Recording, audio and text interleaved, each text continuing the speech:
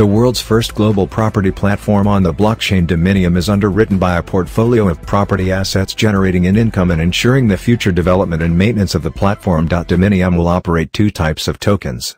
The child chain's native token is called DOM, and users pay transaction fees to Dominium through that token, which makes it a utility token. The standardized, regulatory compliant assets created on Dominium will be the second type of tokens, as they will represent property funds, bonds, loan notes, project finance, etc. and as such are security tokens. By placing property finance, listings, and property management on the blockchain and by providing a multilingual platform with standardized regulatory compliant documentation, the market is open to multiple nationalities, affordability levels and listing agents.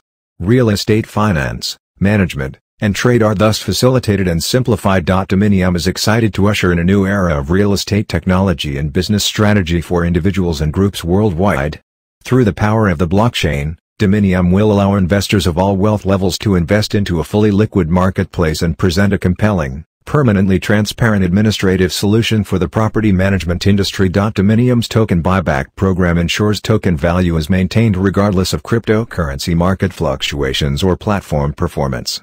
This in turn will have a stable ECNG effect on the DOM token, much like gold-backed tokens, DGD, or currency-backed tokens, USDT.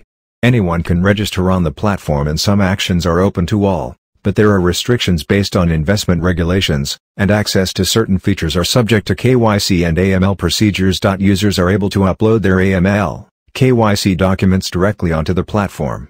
We operate a clearance level system for the level of access a user has to products and services on the platform, subject to the documents that have been uploaded in the account.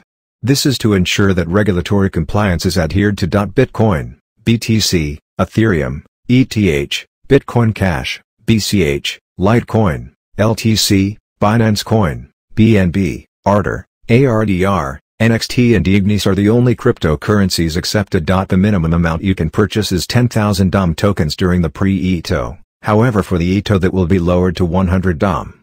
For additional info please visit our official social page. Thank you.